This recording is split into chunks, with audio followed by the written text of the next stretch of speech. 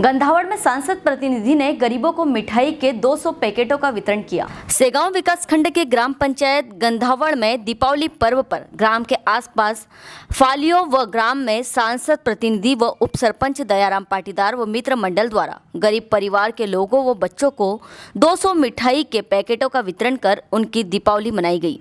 सेगांव से संजय जायसवाल की रिपोर्ट।